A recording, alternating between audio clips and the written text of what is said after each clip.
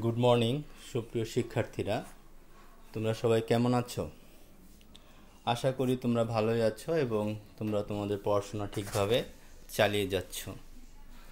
প্রিয় শিক্ষার্থীরা আমরা তোমাদের পঁচিশ তারিখে বলেছিলাম যে তোমাদের অবশ্যই ক্লাসে প্রেজেন্ট থাকতে হবে। এইটটি পার্সেন্ট প্রেজেন্টের কম হলে পরীক্ষা দিতে অসুবিধা হবে। তো সেজন্য তোমাদের যে ক্লাসগুলো, ভিডিও যে ক্লাসগুলো লোড করা হচ্ছে, এগুলো অবশ্যই দেখবে এবং কমেন্ট বক্সে তোমাদের রোল নাম্বার লিখে দিবে। ঠিক আছে, প্রিয় শিক্ষার্থীরা, আজকে আমরা তৃতীয় অধ্যায় অর্থাৎ গতিবিদ্যা অধ্যায়ের উপর আরও একটি ক্লাস নিব এবং মোট ক্লাস সংখ্যা হবে টুয়েলভ তো আমরা শুরু করছি আমাদের আলোচনা আজকে। আজকে কিছু অনুধাবনমূলক প্রশ্ন নিয়ে আলোচনা করব। শুরুতে যে প্রশ্নটি এখানে রয়েছে, দেখো স্লাইডে, যে বেগ দ্বিমাত্রিক হলো ত্বরণ একমাত্রিক হতে পারে কি? ব্যাখ্যা করো। আমরা জানি যে বেগের সাথে ত্বরণের একটা সম্পর্ক রয়েছে, তাই না? যে আমরা আমরা কি জানি? ত্বরণ কাকে বলে? ত্বরণ হচ্ছে বেগের পরিবর্তনের হার। ত্বরণ হলো বেগ বৃদ্ধির হার বা বেগের পরিবর্তনের হারকে বলা হয় ত্বরণ। তো এখানে বলছে বেগ দ্বিমাত্রিক মানে এক্স অক্ষ অয় অক্ষ বরাবর যদি বেগ থাকে, সেক্ষেত্রে ত্বরণ কি শুধু একটা অক্ষ বরাবর হতে পারে? এটা তোমাকে ব্যাখ্যা করতে হবে।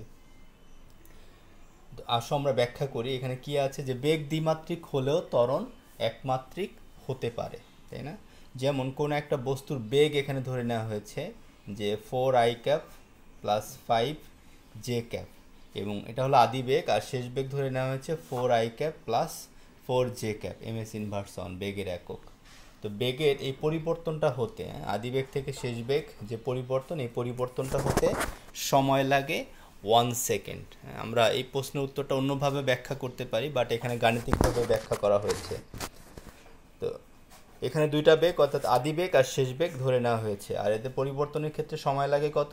ওয়ান সেকেন্ড আচ্ছা সেক্ষেত্রে ত্বরণ কি হবে? তোমাদের মনে আছে যে ত্বরণ কাকে বলে? যে ত্বরণ এ সমান সমান কি হবে?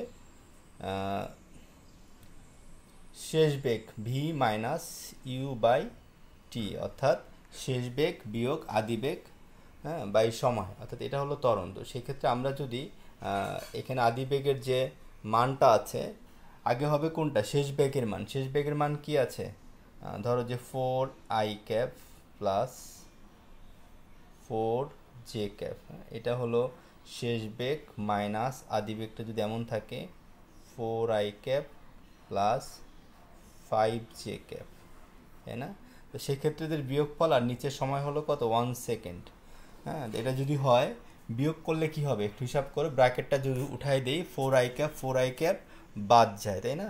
তো সেক্ষেত্রে থাকে কি? শুধু জে ক্যাপ শুধু জে ক্যাপ থাকে। তো এই জে ক্যাপ এখানে কয়টি অক্ষ বরাবর? এটা অবশ্যই অয় অক্ষ বরাবর সুতরাং বেগ দ্বিমাত্রিক সেটা ছিল এক্স এবং অয় অক্ষ বরাবর কিন্তু এখানে ত্বরণ কি? শুধু একমাত্রিক অর্থাৎ অয় অক্ষ বরাবর তো এই এটি আমি তোমাদেরকে পরে আবার লিখে দেখিয়েছি। এটা জাস্ট বুঝালাম একটু দেখো এখন এখানে। সুতরাং ত্বরণ সমান সমান বেগের পরিবর্তন বাই সময়। হুম, ত্বরণ সমান সমান বেগের পরিবর্তন বাই সময়।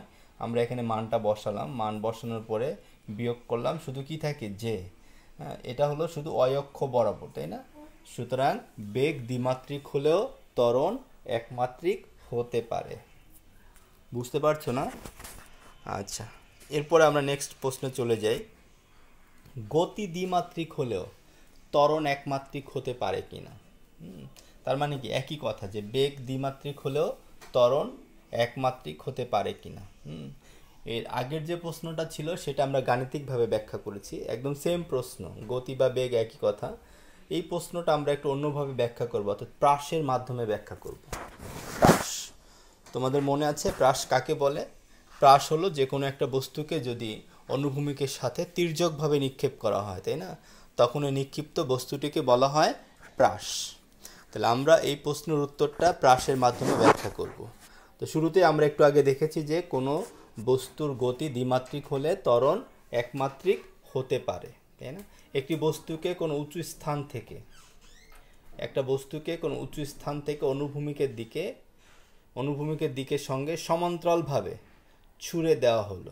যখন অভিকর্ষ বলের ক্রিয়ায় বস্তুটির গতিতে যে ত্বরণের সৃষ্টি হবে সেই ত্বরণের অভিমুখ উলম্বভাবে নিম্নমুখী। তোমাদের এটা কি মনে আছে যে অভিকর্ষ ত্বরণ সবসময় উলম্ব বরাবর, অর্থাৎ লম্ব বরাবর নিচের দিকে ক্রিয়া করে। এটা তোমরা বোঝো বিষয়টা। আমরা সেই জন্য যখন উপরের দিকে উঠি, অর্থাৎ কোনো বিল্ডিংয়ে সিঁড়ি বেয়ে যখন উপরের দিকে উঠি, তখন আমাদের বেশি কষ্ট হয়। তাই না? কেন কষ্ট হয়? কারণ তখন আমরা অভিকর্ষ স্তরণের বিপরীতে, অভিকর্ষ বল বা অভিকর্ষ স্তরণের বিপরীতে উঠি। আর যখন নিচের দিকে নামি, তখন আমাদের অতটা কষ্ট হয় না। কারণ তখন আমরা অভিকর্ষ বলের দিকে নামি, তাই না? তো সেই জন্য এখানে বলছে যে এই গতিতে, অনুভূমিকের দিকের সঙ্গে সমান্তরালভাবে ছুড়ে দেওয়া হলো। এখানে অভিকর্ষ বলের ক্রিয়ায় বস্তুটির গতিতে যে ত্বরণের সৃষ্টি হবে, সেই ত্বরণের অভিমুখ হবে উলম্বভাবে নিম্নমুখী। উলম্বভাবে নিম্নমুখী। সুতরাং অনুভূমিক বরাবর কোনো ত্বরণ ক্রিয়া করছে না। আচ্ছা এখন অভিকর্ষ বল। অনুভূমিক বেগকে প্রভাবিত করতে পারবে না। কেন পারবে না অনুভূমিক বেগকে প্রভাবিত করতে? কারণ অনুভূমিক বরাবর অভিকর্ষ স্তরণটা ক্রিয়া করে না। সবসময় উলম্বভাবে নিম্নমুখী ক্রিয়া করে। সুতরাং অনুভূমিক দিকে বস্তুটির একটি আদিবেগ থাকার জন্য এটি অনুভূমিক অভিমুখে চলবে আর অভিকর্ষ বলের প্রভাবে এটি উলম্বভাবে নিচের দিকে নামে। ঠিক আছে? ফলে বস্তুটির গতি দ্বিমাত্রিক হয়। তার মানে শুরুতে বস্তুটি গেল কোন দিকে? উপরের দিকে। তারপরে আবার গেল অনুভূমিক দিকে, তাই না? তো অনুভূমিক দিকে চলার সময় এই বেগকে, অনুভূমিক বেগকে বস্তুটির ত্বরণ প্রভাবিত করতে পারল না। তাহলে ত্বরণ আমরা শুধু কোন দিকে থাকল? একদিকে, উলম্ব বরাবর। ফলে বস্তুটির গতি দ্বিমাত্রিক হয়। আমরা এখানে একটু দেখব, একটু আলোচনা করে চিত্রের মাধ্যমে দেখব যে আমি যদি একটা বস্তুকে অনুভূমিকের সাথে এইভাবে তির্যকভাবে নিক্ষেপ করি, তাই না? আদি বেগে ভি নট আদি বেগে যদি নিক্ষেপ নিক্ষেপ করি, ভি নট আদি বেগে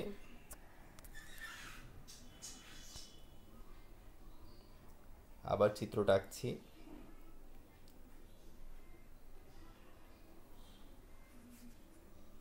এটা এক্স অক্ষ। আর এটা কি?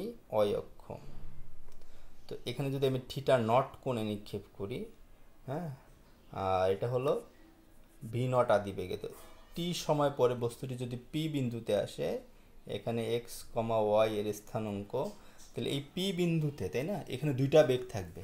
একটা হলো এক্স অক্ষ বরাবর বেগ থাকবে হ্যাঁ এটা হলো ভি এক্স আর একটা হলো ওয়াই অক্ষ বরাবর বেগ থাকবে। এটা হলো কি?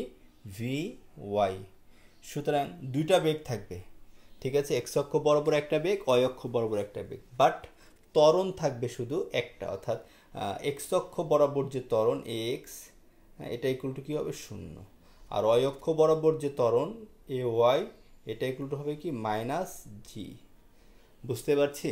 তাহলে কোনো বস্তুকে যদি তির্যকভাবে নিক্ষেপ করা হয়, তখন তার বেগ দুইটা অক্ষ বরাবর থাকে, কিন্তু ত্বরণ থাকে কয়টা অক্ষ বরাবর? একটা অক্ষ বরাবর, শুধুমাত্র অয় অক্ষ বরাবর। সুতরাং বস্তুটির ত্বরণ সর্বদা উলম্বভাবে নিম্নমুখী হয়, অর্থাৎ অনুভূমিক দিকে বস্তুটির কোনো ত্বরণ নেই, ফলে ত্বরণ একমাত্রিক বাট গতি কি? দ্বিমাত্রিক। ত্বরণ একমাত্রিক হয় আর গতি হয় দ্বিমাত্রিক। তো আমরা এই প্রশ্নটা যদি পরীক্ষায় আসে আগের যে আলোচনাটা ছিল, গাণিতিকভাবে ব্যাখ্যা করতে পারি, আবার এইভাবেও ব্যাখ্যা করতে পারি, যেভাবে তোমাদের সুবিধা হয়। আমি দুইভাবে আলোচনা করেছি। আচ্ছা এরপরে হচ্ছে গাড়ির গতি দ্বিগুণ হলে থামানোর দূরত্ব চার গুণ হতে হবে কেন? সবসময় এটা আমরা বলি যে কোনো বস্তুকে যদি থামানো হয়, গাড়িটাকে যদি থামানো হয়, তাহলে দ্বিগুণ বেগ যদি থাকে, তখন তো দূরত্ব চার গুণ, অর্থাৎ চার গুণ দূরত্ব যদি যতটুকু হবে, ততটুকু আগে থামাতে হবে। না হলে অ্যাক্সিডেন্ট ঘটতে পারে। কেন এটা হয়? গতি দ্বিগুণ হলে থামানোর দূরত্ব চার গুণ হতে হবে কেন? আচ্ছা ধরা যাক একটা বস্তু আদিবেগ, ইউ আদিবেগে গতিশীল হ্যাঁ? একটা বস্তু ইউ আদিবেগে গতিশীল, ঠিক আছে? এখন গাড়িতে ব্রেক কষে এ মন্দন সৃষ্টি করা হলো। গাড়িতে ব্রেক কষে এ মন্দন সৃষ্টি করা হলো। ফলে এস দূরত্বে গিয়ে গাড়িটি থামলো। এখানে যে মন্দনের কথা বলা হয়েছে, তোমরা এটা কি বোঝো? হ্যাঁ গাড়িটির মন্দন হচ্ছে কি? এ, মন্দন কখন হয়? যখন দূরত্ব বেগ আস্তে আস্তে কমতে থাকে, তাই না? তখন বেগ হ্রাস পায়, আর বেগ হ্রাস পেলে বেগ হ্রাসের যে পরিবর্তনের হার, সেটা হলো কি? মন্দন। আর এক্ষেত্রে শেষ বেগ ভি টু কত? শূন্য। আচ্ছা তাহলে একটু বলো যে আমার আদিবেগ ইউ শেষ বেগ ভি ইকুয়াল টু জিরো দূরত্ব এস আর মন্দন হচ্ছে এ তাহলে ইকুয়েশনটা কি হবে? হ্যাঁ? ইকুয়েশনটা কি হবে? সুতরাং আমরা এই সূত্রটা জানি যে V square equal to V square equal to U square plus two A S হ্যাঁ? আর যখন মন্দন হবে তখন এই প্লাসের পরিবর্তে কি হবে? মাইনাস আর এখানে শেষ বেগ ভি ইকুয়াল টু কি? জিরো সুতরাং জিরো যদি বসাই দিই, তাহলে কি থাকে? Zero equal to U square minus two A S বা এখান থেকে টু এসটাকে যদি আমরা আমি এখানে একটু ইকুয়েশনটা করে দেখাচ্ছি যে বা zero equal to U square minus two A S বা two A S equal to কত? ইউ স্কোয়ার বা এস ইকুয়াল টু কত হবে? U square by two A তো এখন এই ত্বরণটা যদি ধ্রুবক হয় চেঞ্জ না হয়, তখন কি হবে? এস সমানুপাতিক ইউ স্কোয়ার হ্যাঁ এস সমানুপাতিক ইউ স্কোয়ার এই জিনিসটা এখানে দেখানো হয়েছে, দেখো। হ্যাঁ এস ইকুয়াল টু এত? সুতরাং এস সমানুপাতিক ইউ স্কোয়ার ব্রেকের জন্য মন্দন এ ইকুয়াল টু ধ্রুবক। সুতরাং বলা যায় যে আদি গতিবেগ দ্বিগুণ হলে থামানোর দূরত্ব চার গুণ হতে হবে। কারণ আমি যদি ইউর মান এখানে টু বসাই, তাহলে এসের মান কত আসবে? ফোর বুঝতে পারছি? হ্যাঁ? দূরত্ব বেগের বর্গের সমানুপাতিক। দূরত্বটা হলো কি? বেগের বর্গের সমানুপাতিক।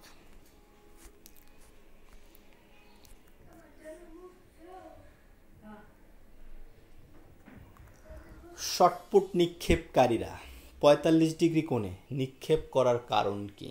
ব্যাখ্যা করো। তাই না? আমি যদি যেমন গোলক নিক্ষেপকারীরা, চাকতি নিক্ষেপকারীরা হ্যাঁ এরা সবসময় পঁয়তাল্লিশ ডিগ্রি অ্যাঙ্গেলে নিক্ষেপ করতে চায়, এটার কি কারণ? পঁয়তাল্লিশ ডিগ্রি নিক্ষেপ কোণে নিক্ষেপ করলে সর্বাধিক অনুভূমিক দূরত্বে যাবে। হ্যাঁ এখন এটা সর্বাধিক সর্বাধিক অনুভূমিক দূরত্বে যাবে কেন? আমি যদি বলি যে সিক্সটি ডিগ্রি করে নিক্ষেপ করলে সবচেয়ে বেশি দূরত্বে যাবে হ্যাঁ? এখন বললে তো হবে না, গাণিতিকভাবে যেটা প্রমাণ করা হয়েছে, তাহলে সেটাই আমরা এখন দেখানোর চেষ্টা করব যে কেন আমরা পঁয়তাল্লিশ ডিগ্রি করে নিক্ষেপ করা হয়। আচ্ছা শর্টপুট নিক্ষেপকারীরা পঁয়তাল্লিশ ডিগ্রি করে নিক্ষেপ করার কারণ হলো এই কোণে নিক্ষেপ করলে সর্বাধিক অনুভূমিক দূরত্বে নিক্ষেপ করতে পারবে, অর্থাৎ সে সর্বাধিক অনুভূমিক পাল্লা অর্জন করতে পারবে। এখানে যে কথাটা বলা হয়েছে, অনুভূমিক পাল্লা এই অনুভূমিক পাল্লার সূত্রটা তোমরা জানো? যদি এখানে অনুভূমিক পাল্লার সূত্রটা জানো, তাহলে এই প্রশ্নের উত্তরটা ভালো বুঝতে পারবে। আচ্ছা আমরা একটু আলোচনা করছি অনুভূমিক পাল্লা। আচ্ছা এখানে দেখো যে অনুভূমিক পাল্লা আর ইকুয়াল টু হ্যাঁ এটা আমরা জানি। অনুভূমিক পাল্লার সূত্র এখানে। এখন এখানে ভি নট আর এ জি ভি নট যদি সেম থাকে এ যদি সেম থাকে, তাহলে অনুভূমিক পাল্লাটা কার উপর নির্ভর করে? সাইন টু থিটা নট তাই না? আর সাইন টু থিটা নট এর সর্বোচ্চ মান কত? ওয়ান তাহলে sine two theta naught equal to কত? ওয়ান বা two theta naught equal to কত হবে? বা two theta naught equal to কত? সাইন কত ডিগ্রি মান? ওয়ান নব্বই ডিগ্রি সুতরাং থিটা নট ইকুয়াল টু কত হবে? ফোরটি ফাইভ ডিগ্রি সুতরাং দেখা গেল যে থিটা নট যদি ফোরটি ফাইভ ডিগ্রি হয়, তখন আর এর মানটা সর্বাধিক হয়। ঠিক আছে? আর ম্যাক্স হয় আর ম্যাক্স তখন আর ম্যাক্সের সমীকরণটা কি দাঁড়াবে? V naught square by G বুঝতে পারছ তোমরা? অর্থাৎ আমি এখানে কি বোঝাতে চেয়েছি যে থিটা নট যদি ফোরটি ফাইভ ডিগ্রি হয়, তখন আর এর মানটা ম্যাক্সিমাম হয়। R max R max equal to কত হবে? V naught square by G ঠিক আছে? সর্বাধিক অনুভূমিক পাল্লা অর্জন করে সুতরাং কোনো শর্টপুট নিক্ষেপকারীরা কেন পঁয়তাল্লিশ ডিগ্রি কোণে নিক্ষেপ করে? কারণ পঁয়তাল্লিশ ডিগ্রি কোণে নিক্ষেপ করলে সর্বাধিক অনুভূমিক পাল্লা অর্জন করা যায়। আচ্ছা অর্থাৎ ভি নট বেগে নিক্ষেপে, নিক্ষেপ করলে এবং পঁয়তাল্লিশ ডিগ্রি করে নিক্ষেপ করলে শর্টপুট নিক্ষেপকারীরা সর্বাধিক অনুভূমিক দূরত্বে নিক্ষেপ করতে পারবে। তাই শর্টপুট নিক্ষেপকারীরা পঁয়তাল্লিশ ডিগ্রি করে নিক্ষেপ করে। অর্থাৎ সর্বাধিক অনুভূমিক দূরত্বে নিক্ষেপ করার কারণে। আচ্ছা এখানে আরেকটি প্রশ্ন আছে, দেখো, সমদ্রুতিতে, সরল পথে চলমান বস্তুর ত্বরণ থাকে না। সমদ্রুতিতে, সরল পথে চলমান বস্তুর ত্বরণ থাকে না, অথচ বৃত্তাকার পথে সুষম দ্রুতিতে চলমান বস্তুর ত্বরণ থাকে। ব্যাখ্যা করো। এখানে বলছে যে সমদ্রুতিতে, সরল পথে। আর পরেরটা বৃত্তাকার পথে কি বলছে? সুষম দ্রুতিতে একই কথা। তো চলমান বস্তুর ত্বরণ থাকে না কেন? ব্যাখ্যা করো। আচ্ছা আমরা আগে জানতে হবে ত্বরণ কাকে বলে, তাই না? ত্বরণ হলো কি? বেগের পরিবর্তনের হার। ত্বরণ হলো বেগের পরিবর্তনের হার। আমরা যদি ত্বরণের ইকুয়েশনটা দেখি, ত্বরণ এ সমান সমান কী হবে? V minus U by T. এখানে ভি হলো ভি হলো শেষ বেগ ইউটা হলো আদি বেগ, আর টি হলো কি? সময়। টিটা হলো সময়। সুতরাং এটা হলো ত্বরণ। এখন ত্বরণের এই সমীকরণে, তাই না? ত্বরণের এই সমীকরণে ত্বরণের এই সমীকরণে আমরা যদি বেগের কোনো পরিবর্তন না হয়, তখন আদি বেগ আর শেষ বেগ কী হবে? সমান থাকবে, তাই না? তখন আমি কি লিখতে পারি? ভি মাইনাস ইউর পরিবর্তে ভি লিখতে পারি বাই কি টি তখন কি হবে? V minus V zero zero অর্থাৎ সেক্ষেত্রে ত্বরণ থাকবে না। ত্বরণ থাকতে হলে বেগের মান ভিন্ন হতে হবে। সুতরাং সমদ্রুতিতে সরল পথে ত্বরণ থাকে না। এই কথা এখানে বলা হয়েছে যে বেগ হলো একটি ভেক্টর রাশি, যার মান ও দিক উভয়ের পরিবর্তনে এটি পরিবর্তিত হয়। ঠিক আছে? মান ও দিক উভয়ের পরিবর্তনে এটি পরিবর্তিত হয়। কিন্তু বেগের মানই হলো দ্রুতি। বেগের যে মান, সেটাকে আমরা কি বলতে পারি? দ্রুতি। তার মানে দ্রুতি হলো বেগের মান। সেক্ষেত্রে দ্রুতির ক্ষেত্রে তাহলে দিক থাকবে না। ঠিক আছে? কাজেই সুষম দ্রুতিতে বস্তু সরল পথে চললে বেগের মানের কোনো পরিবর্তন হয় না। হ্যাঁ সুষম দ্রুতিতে সরল পথে চললে বেগের মানের কোনো পরিবর্তন হয় না। সরল পথে চললে সরল পথে চলে বলে দিকেরও পরিবর্তন হয় না, ফলে ত্বরণ থাকে না। তার মানে মানেরও পরিবর্তন হইল না, দিকেরও পরিবর্তন হইল না। অপরপক্ষে সুষম দ্রুতিতে বৃত্তাকার পথে কোনো বস্তু যখন চলতে থাকে, তখন তার মান একই থাকে, কিন্তু দিক অনবরত পরিবর্তিত হতে থাকে। দিকটা কি হতে থাকে? অনবরত পরিবর্তিত হতে থাকে। ঠিক আছে? আচ্ছা তো অনবরত দিক পরিবর্তনের কারণে কি হয়? হ্যাঁ? অনবরত, অর্থাৎ আমি যদি এখানে বৃত্তাকার পথে এরকম একটা বস্তু যখন চলতে থাকে, এখানে একরকম দিক হবে, এখানে একরকম দিক হবে, তাই না? তো এখানে এসে আবার আর একরকম দিক হবে। দিক ভিন্ন হয়, তো এখানে প্রত্যেকটা পয়েন্টে এসে বস্তুটার দিক চেঞ্জ হয়। তো সেই কারণে মান আমার সেম থাকে, কিন্তু দিক ভিন্ন হয়। তো দিক ভিন্ন হওয়ার কারণে ত্বরণের মান শূন্য হতে পারে না। যেমন আমার যদি ইউ ইকুয়াল টু হয় পাঁচ, তাই না? আর ভি ইকুয়াল টু পাঁচ বাট এটা মাইনাস পাঁচ। তো সেক্ষেত্রে আমার তরণ এ ইকুয়াল টু কত? ভি মাইনাস ইউ বাই কত? টি এক্ষেত্রে কি এর মানটা শূন্য হবে? মাইনাস পাঁচ যদি আমরা বসাই, সেক্ষেত্রে শূন্য হবে না। তাই বলছে যে সমদ্রুতিতে সরল পথে চলমান বস্তুর ত্বরণ শূন্য হলেও বৃত্তাকার পথে শূন্য হবে না।